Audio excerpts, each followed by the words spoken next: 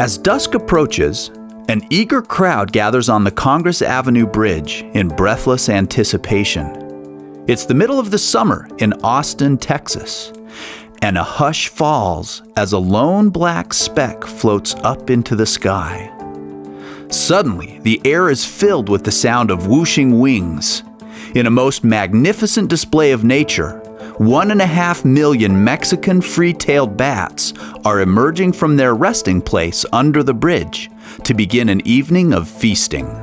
Large groups of migrating bats have made their summer home in the warm, moist environment of Texas, where there is plenty of food for the millions of bats who settle there each summer. Most bats eat insects, and many eat fruit. One medium-sized bat can eat over a thousand mosquitoes in an hour. Bats eat the many insects that can destroy crops and create problems for humans. Without bats, it's possible we could be overrun with insects. As the only mammal that can truly fly, bats move through the air by flapping their wings up and down in a distinctive way. Their wings have more bones than birds' wings and are much thinner. They can fold and expand, allowing bats to do more maneuvering in the air. This is good because bats need to adjust their flight path quickly as they chase down their next insect meal. Since the membranes of their wings are so thin, they tear easily, but they also heal quickly.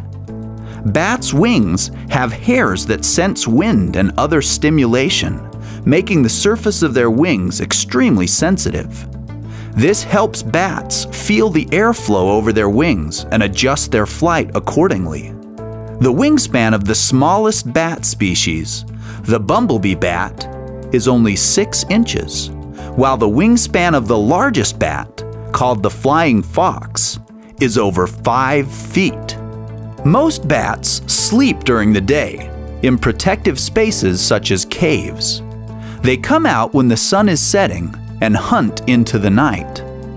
Dusk is a prime time to hunt because insects are often active just before dark when the air is cooler. In addition, bats can hunt more safely as there are fewer predators in the dark. It's no problem for bats to find food in the dark because more than half of all bat species use echolocation.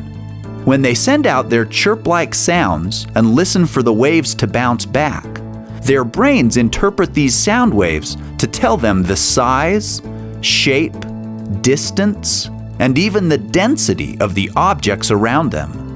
This ability is so refined in bats that they use this powerful trait to avoid obstacles and even identify tiny insects in the air.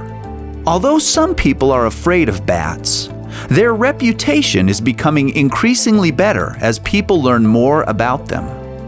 The unique characteristics of bats and their impact in nature cannot be duplicated.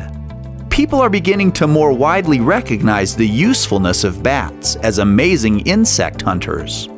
This has led to the building of bat houses to attract these wonderful mammals, decreasing potentially harmful insect populations, and in turn, improving our comfort. Bats are valuable mammals that deserve our respect and appreciation as they impact our ecosystem and our world in powerful and positive ways.